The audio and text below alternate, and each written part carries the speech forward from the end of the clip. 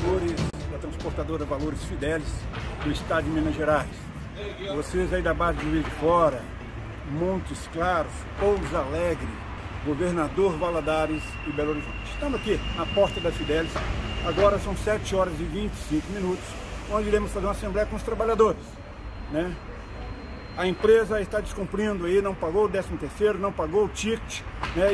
existe uma revolta muito grande. E nós vamos conversar com os trabalhadores e tomar uma direção. É, o que, é que nós vamos resolver daqui para frente? Né? Na realidade, uma transportadora de valores que deveria dar exemplo de honestidade está na situação em que a Fidelis está.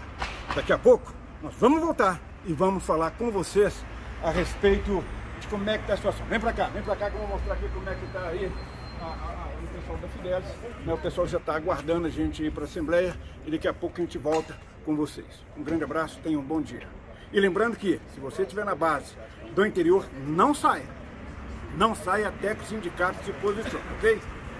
Vamos estar falando com vocês daqui a pouco. Um grande abraço. Bom dia! Bom dia! Pessoal, estão vindo aí? Beleza? Nós falamos aquele dia que nós tivemos aqui, o dia que saiu aí o, o, o adiantamento, não foi isso? A gente estaria aqui na segunda-feira, com dinheiro ou sem dinheiro. O sindicato está aqui presente. Naquele dia, o Luiz Carlos estava aqui e o Candal prometeram adiantamento e a primeira parcela do 13 terceiro. Aquele dia, até o dia 30, não saiu. No dia 30 nós tivemos uma reunião com o Ministério Público. Participou o Rodrigo e o Marcelo, está participando das audiências do Ministério Público.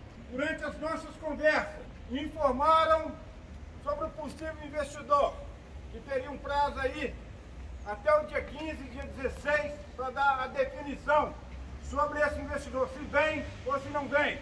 Fizeram uma proposta de pagamento para vocês, para Fidelis, lá no Ministério Público. Já vou falar aqui. O sindicato não concordou com a proposta que está em ata no Ministério Público, que é pagamento. Era pagamento do TIC no dia 5, do 13 terceiro, dia 7 e pagamento dia 12.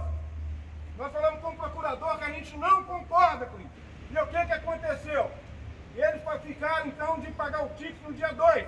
Não pagaram o ticket. Está em ata do Ministério Público. Não pagaram a primeira parcela do 13 terceiro. Durante a audiência que o Reis e o Alisson também participaram, o Rodrigo, o diretor, falou que a empresa estava já diante da, da, da situação que teria que fazer alguma dispensa, que essas dispensas seriam na próxima segunda quinzena do mês de dezembro. Nós pedimos para eles os nomes dos trabalhadores que serão dispensados. Eles não apresentaram. Vamos lá, pessoal. O sindicato está aqui. Hoje é que dia? Dia 5. Dia 5 de dezembro. A empresa Fidelis tem débito. Com ticket que deveria ter sido pago no primeiro dia útil. E com décimo terceiro tem que ser pago de acordo com a lei no dia 30. Prometeu, de frente para vocês, que faria um pagamento e não fez.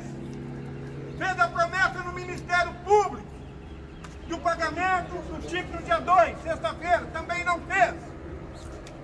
Diante dessa situação, o sindicato já encaminhou aviso de greve para a empresa e que nós estamos colocando em aprovação aqui perante os trabalhadores. É que a gente mantenha a empresa paralisada enquanto os gestores não vierem aqui falar com os trabalhadores e nós só voltávamos trabalhar com dinheiro em conta que não vamos permitir nenhuma saída de dinheiro.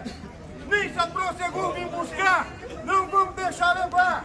Se a Brinks vir buscar, não vamos deixar levar. Quem concorda com isso? Levanta a mão.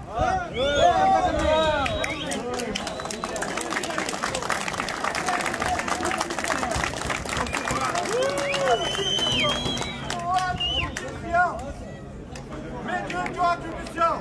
Pessoal da tesouraria também.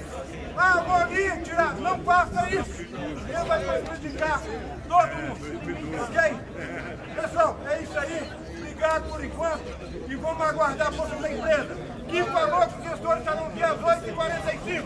Todo mundo mantém fardado aí, ok, pessoal? Obrigado aí por enquanto.